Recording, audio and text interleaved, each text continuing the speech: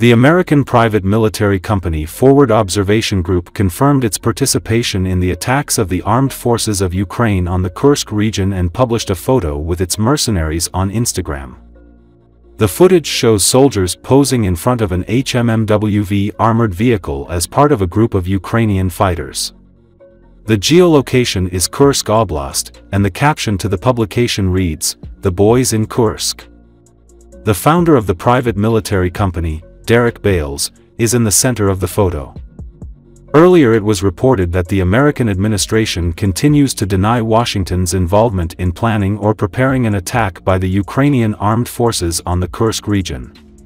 White House Press Secretary Karine Jean-Pierre refused to discuss Ukrainian military operations and noted that the Ukrainian leadership should comment on the actions of the Ukrainian armed forces. The first post related to the PMC's actions in Ukraine was published on February 26, 2022. It depicted a destroyed armored vehicle, and the post itself was signed with an emoji of the Ukrainian flag. This week, a photo of a man with a PMC patch appeared on the company's Instagram page. Based on geolocation data, the photo was taken in the city of Chasiv Yar. Earlier, the Russian Foreign Ministry spoke about the participation of an American PMC in the attack on the Kursk region.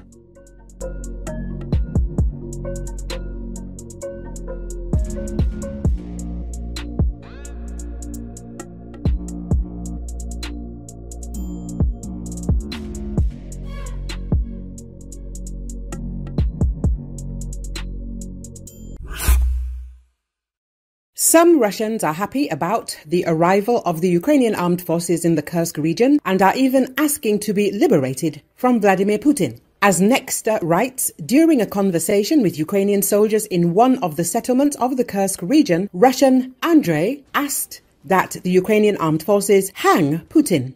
At the same time, he noted that he received humanitarian aid from Ukraine.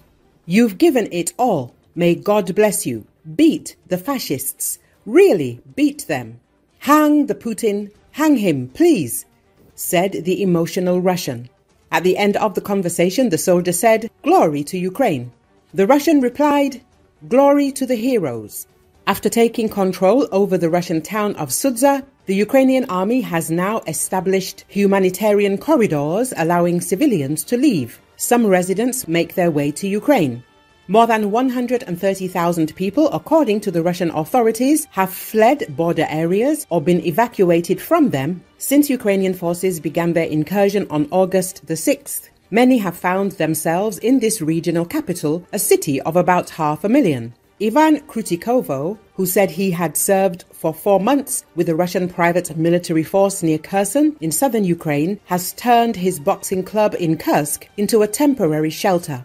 He has been expecting something like this attack for more than a year, he said, adding, A lot of people still do not understand the overall seriousness of what is happening. Many people ignore the situation around them and think it will pass them by, he said. But we are already experiencing it firsthand. Evacuated residents of Russia's Kursk Oblast are being taken to recreational facilities in Russian occupied Crimea, Suspilne, Crimea reported. An employee of one of the Crimean recreational facilities told Suspilne Crimea on condition of anonymity that local authorities had begun bringing refugees from Kursk Oblast to their city, which was not disclosed by the source for security reasons. Deputy Permanent Representative of Ukraine's President in Crimea, Denis Chistikov, told Suspilne Crimea that the regional branch of the Red Cross in Kerch initiated the resettlement of Kursk Oblast's residents to the territory of the Crimean city. 35 people had already moved into facilities in Yevpatoria, Chistikov claimed. Chistikov said that Russia's transfer of population from the Russian territory to occupied Crimea is a violation of Article 4 of the Geneva Convention.